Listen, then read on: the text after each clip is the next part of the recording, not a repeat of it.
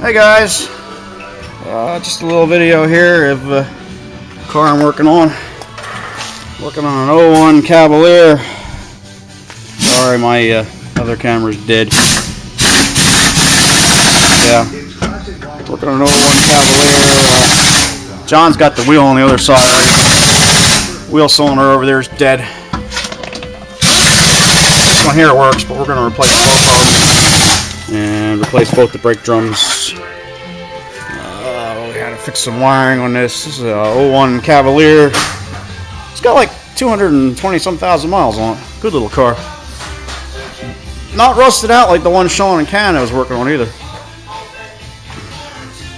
So I guess Pennsylvania is not as bad as uh, Canada for, for uh, rust, but uh, a little bit of rust here and there. But yeah, the headlights wouldn't work and the horn wouldn't work. There was a bunch of chewed up wiring.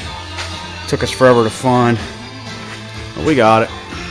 So there you go. A little update for you guys. I work on just about anything. So don't just don't think I just work on Fords.